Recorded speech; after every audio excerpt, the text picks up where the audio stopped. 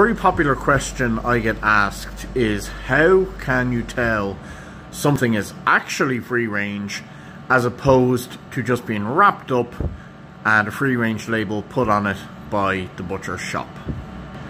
So today I'm going to show you what the butcher should be able to show you if you ask him to prove that they are indeed free range chickens.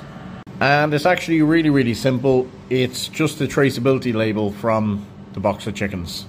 So you'll see here, has on it loose, fresh, class A, free range, Irish whole chicken without giblets. And then you'll have your use by, date I ordered them, and here we have origin, so it's Ireland, batch number, storage, blah blah blah, and no allergens, and yeah, all the the relevant traceability information. If your butcher is buying in genuine free-range chickens, there should be no problem showing you the traceability. I hope that puts a few people's minds at rest.